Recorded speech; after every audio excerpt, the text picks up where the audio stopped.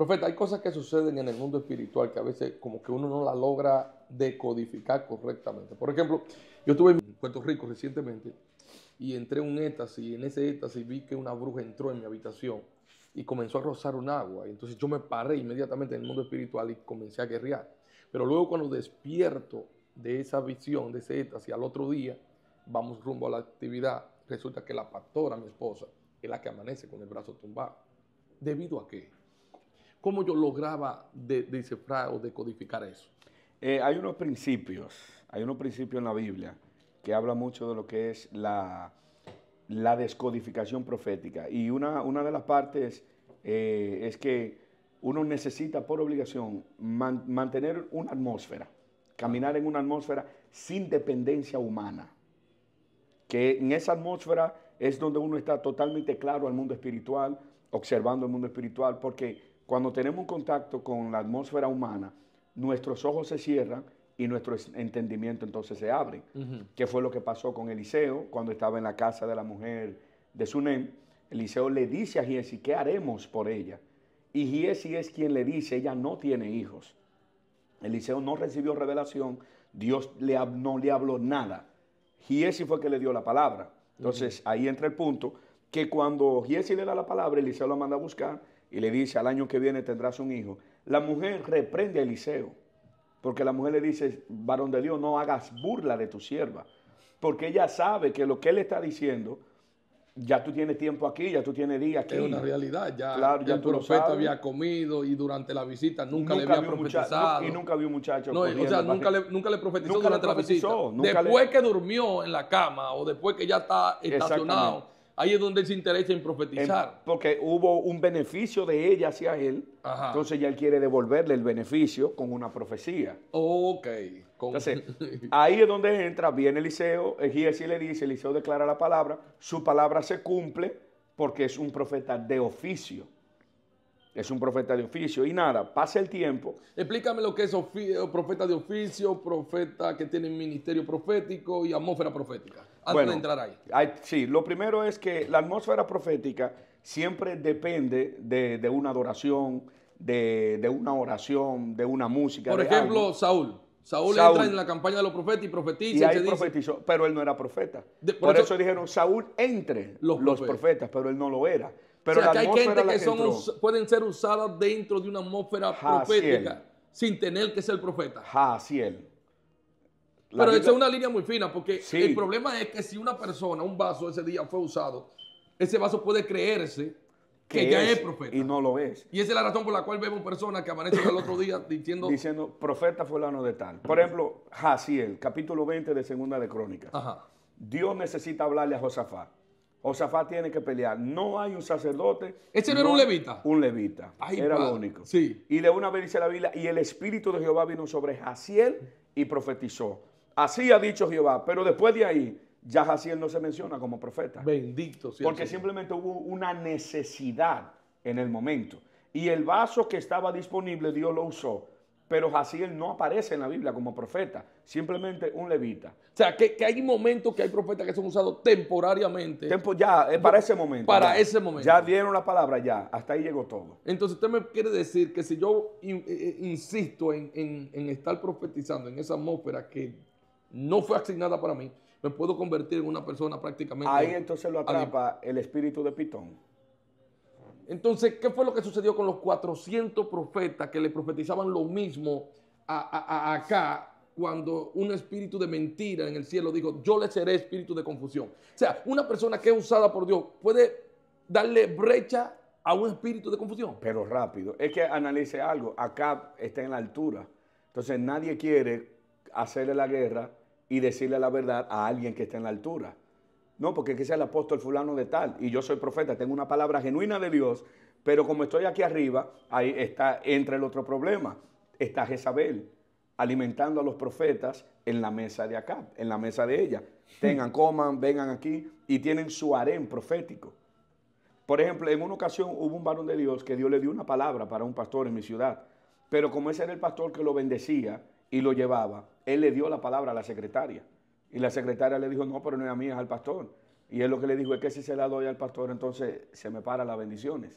Entonces ahí es donde de una vez se cierra el ojo espiritual y el discernimiento profético y lo que se abre es el entendimiento. Pero mira qué sucedió en ese mismo episodio. Mandan a buscar a Micaías para que venga y le diga, el rey acá está claro que cada vez que él le profetiza, le profetiza casi en contra. Mas sin embargo, el rey, el profeta Micaías, en la primera audición La- la primera profética, ronda. en la primera ronda, profetizó de acuerdo a los De 400. acuerdo. Explícame eso. Pero que ahí mismo, de una vez acá, Discernió. Óyeme, yo te he dicho que me diga la verdad. O sea que él sí sabía quién estaba hablando la mentira y quién estaba hablando la verdad. Acab lo sabía, porque él sabía que él, él tenía esa gente, él lo mantenía.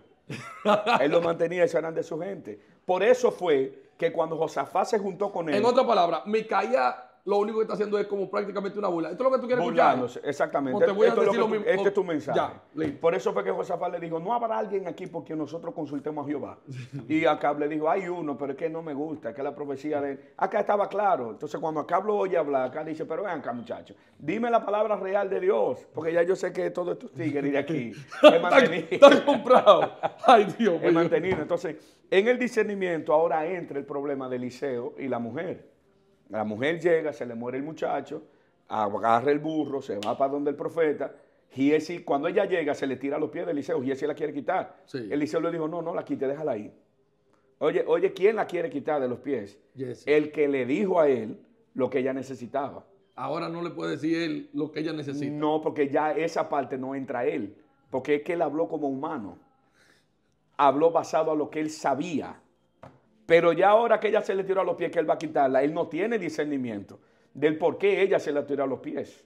Porque es que lo humano en ningún momento va a poder discernir más allá, ni puede descodificar nada. Mira, hablando de eso, me, me transporto a la vida de Lee cuando Ana iba al templo y dice la Biblia que ella no alzaba la voz y Elí interpretó que era ebria que ella estaba. Porque recuerda este profeta que en la casa de Elí ya lo humano había tomado control. Entonces él no tenía discernimiento espiritual. Mas, sin embargo, cuando le declara la palabra, se le cumple. De un- porque por el oficio. Ah, por el oficio. Sí, por el oficio, porque ya él, él es sacerdote. Por ejemplo, ahí entra otro caso que es un problema serio y es con Moisés. Moisés peca delante de Dios. Dios le dice, háblale a la peña y él le golpea, peca. Y de repente sale agua como quiera. Entonces cualquiera dirá, no, porque es un hombre de Dios, Dios lo está usando. El asunto es que no le estamos dando cuenta que el pueblo tiene sed. ¡Ay, mendo de Shakira, bosa! El Dios pueblo mío. tiene sed. Y aunque el hombre esté mal, Dios lo va a usar porque el pueblo tiene sed. Pero al final tú y yo hablamos. Tú y yo vamos a hablar. Tú y yo hablamos. Moisés, haz lo que tú quieras, el pueblo va a beber. Pero para acá arriba, tú no Tú lo vas vienes. a- Ay, sí. Tú no vienes. Entonces, eso, ahí es donde está la confusión. Que hay gente que tiene sed. Y el hombre se paró, dijo una palabra de Dios, está mal delante de Dios, Dios lo va a usar. Pero es que el pueblo tiene sed. Porque es que Dios ama a su pueblo. Y como el pueblo tiene sed, Dios le va a dar agua. Beban, beban, beban. Como Elí le declaró la palabra a esta mujer y se le cumplió. Eh, eh, Porque el problema no era con Ana. El problema lo tenía Elí, pero ella era una mujer íntegra que estaba buscando a Dios. En otra palabra, ¿tú sabes lo que es beberse ese jugo? Mira, mira, mira, mira, mira, mira, mira. Chama, que, déjame darme un trago, profeta, también. Yo lo estoy probando, pero el vaso no sabe a qué sabe el jugo. No.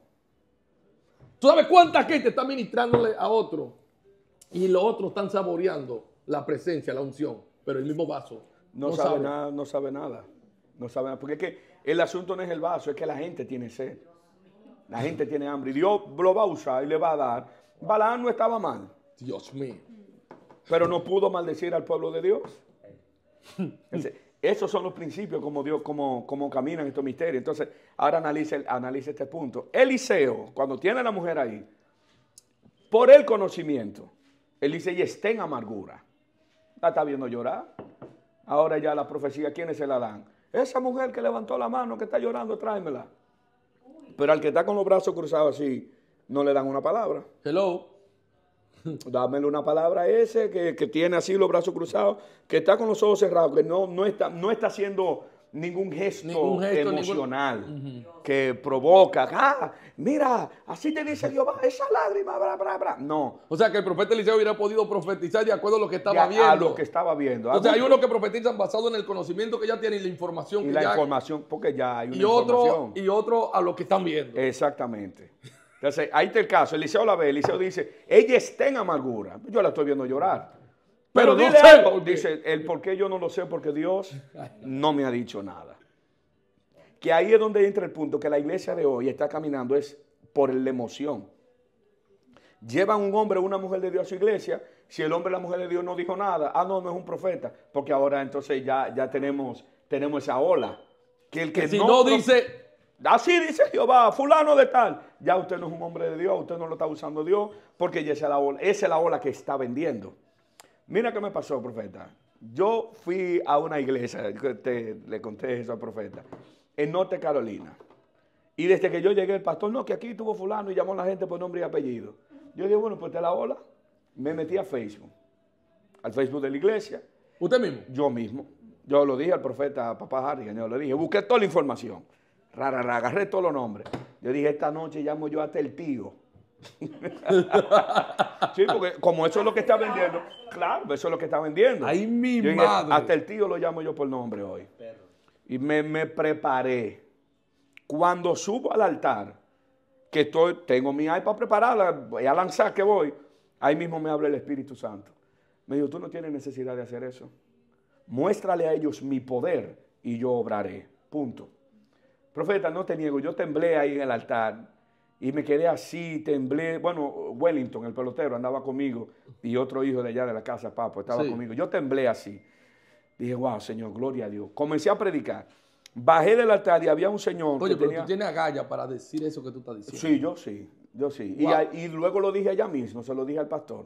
Dios mío. al pastor se lo dije allá mismo. Al mismo pastor se lo Al mismo pastor se lo dije. Wow, pero eso, eso, eso dio. Allá.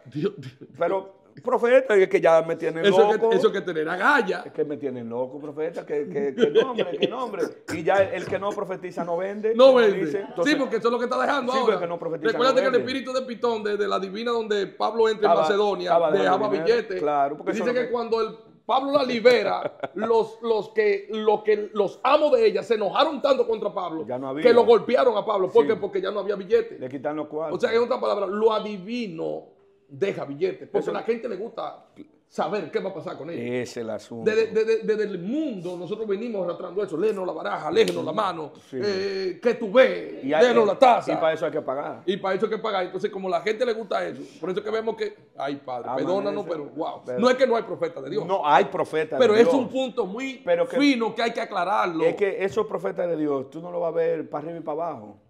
Son gente que están conectados, que cuando salieron fue a una misión, declaran la palabra, y vuelven y se esconden. Ya. No están en el público. No, ellos no están en eso, ni están en esa checha. O sea, esos son profetas de oficio que están apartados de la gente. Totalmente. Entonces no confundamos atmósfera profética y, y, dones proféticos. Y dones proféticos. No se puede. No se puede. Porque es que en una atmósfera. ¿No te ha dado cuenta que hay culto que usted mismo ha predicado? Que de repente la atmósfera de Dios y un impío ve una visión. Sí. ¡Ay, yo vi un ángel! Pero en los cristianos. En los cristianos. Pero fue la atmósfera que había, le abrió los ojos. Sí. Se le abrió los ojos, pero ya eso lo hace profeta. Eso lo hace salvo. No, eso no lo hace salvo. Santo Dios. Entonces, ahí entró el caso. Eliseo declara la palabra. Dios no me ha dicho nada. Ella tuvo que confesarle. Y oiga, la, oiga, oiga el punto donde entró. ¿Acaso te pedí yo, hijo? No te dije, vuelvo y le repito. Ay, ay, ay, ay, Chama, vuelvo y se lo repite. No te dije yo que no te burlara, que de, no te burlara de tu sierva. Dios mío. Entonces, ahora mira el punto. ¿A quién mandó Eliseo con el báculo para levantar el A Jesse. Pues fuiste tú que me dijiste. Fuiste tú que me dijiste. ¡Ay, Dios mío! Ve y resuelve tú. Ve, resuelve tú. Vete tú. Allá, fuiste tú que me metiste Vete en el tú, lío. Ve, resuelve tú eso. Se va y te tira y se tira, no pasa nada. Entonces, cuando llega Eliseo, ahí fue donde Dios me mató, porque ahí fue donde Dios me reveló la porque palabra. Porque aunque Jesse trajo la información, quien da la palabra como quiere y es responsable de la palabra. Es el profeta. Es el profeta. Entonces él tiene que resolver ese lío ahora. ¿En cuánto lío no hemos metido nosotros, Dios mío? Dando Va palabras. que, que iglesia por iglesia. Después tenemos que ayudar a vigilar para señores, que se cumpla eso. Vine a resucitar muchacho. Ay, Dios mío. Entonces analiza dónde fue que Dios me mató. Ay, Dios, Dios mío, ayúdanos. Dice la Biblia que cuando Eliseo llegó, que subió a la casa, Giesi iba a entrar, pero la Biblia dice, y Eliseo cerró la puerta entre él y Giesi. Tú te quedas afuera, para acá tú no vienes. Shamaya.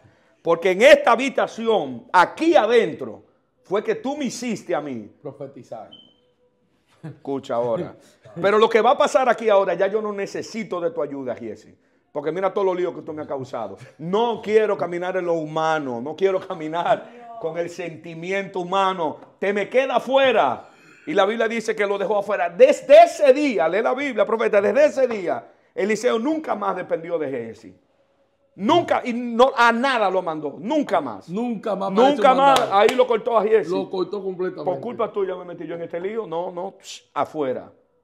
De ahí fue el tema del mensaje, que se quede afuera. Que se quede afuera. Para acá tú no entras. Ya tú me hiciste demasiado lío, me hiciste, no, para acá tú no entras. Te queda ahí. Y eso, y eso es lo que está pasando. Que tenemos gente que están profetizando por la información que ya Giesi le dio. Entonces la descodificación profética no se puede activar. Eliseo dijo, ya tengo amargura, pero papito, todavía tú estás aquí, yo estoy ciego. Dios, no, Dios no me ha, Dios no me ha dicho nada, yo estoy ciego. Pero ya hoy en día, por el conocimiento, ya todo el mundo quiere decir, Dios me dijo. Pero es que, como te dije, eso vende y los profetas de Jezabel comían bien. Wow. Entonces, mira, mira el punto. Los profetas de Jezabel comían bien en la mesa y los que tenían la palabra de Dios, Abdías tenía que mantenerlo en una cueva por allá, llevándole pedacitos de pan.